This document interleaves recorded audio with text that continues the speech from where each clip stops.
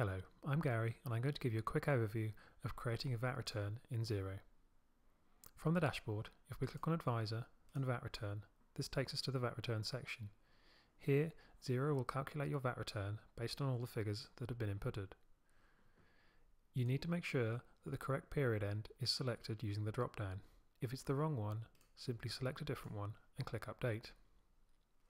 The Include VAT Late Claims button should always be ticked, as this makes sure that if any items have been posted into the previous period, subsequent to the previous return being done, they will still be caught.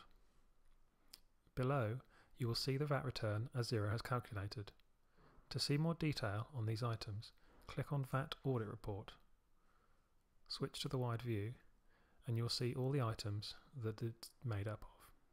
You can also click on an invoice number to take you straight to that invoice to see more details.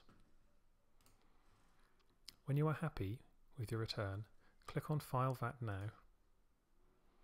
This will prepare the return as draft and you can click Publish to finish. From here, you can export the return as a PDF or to Excel so that you can file this online with HMRC. If you have any further questions, please leave them in the comments below and feel free to check out our other videos.